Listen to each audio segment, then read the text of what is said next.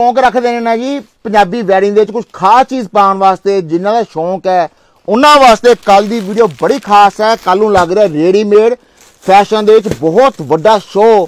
ਉਹ ਵੀ ਲੱਗ ਰਿਹਾ ਜੀ, ਕੋਫਰ ਦੇ ਵਿੱਚ ਜਿੰਨੀਆਂ ਡਰੈਸਾਂ ਦਿਖਾਉਂਗਾ ਨਾ ਜੀ, ਇੱਕ ਇੱਕ ਵੀ ਚੁਣ ਕੇ ਦਿਖਾਉਂਗਾ ਮਾਰਕੀਟ ਦਾ ਇੱਕ ਤੋਂ ਵੱਧ ਇੱਕ ਲੇਟੈਸਟ ਡਿਜ਼ਾਈਨ ਦਿਖਾਉਂਗਾ ਉਹ ਵੀ ਦਊਂਗਾ ਚੈਲੰਜਿੰਗ ਪ੍ਰਾਈਸਾਂ ਦੇ ਉੱਪਰ। ਨਾਰਕਲੀਆਂ ਲਹਿੰਗੇ ਸ਼ਰਾਰੇ, ਆ ਵੀ ਨਾਰਕਲੀ ਆ ਚੁੱਕੀ ਹੈ ਜੀ, ਨਾਰਕਲੀਆਂ ਲਹਿੰਗਾ।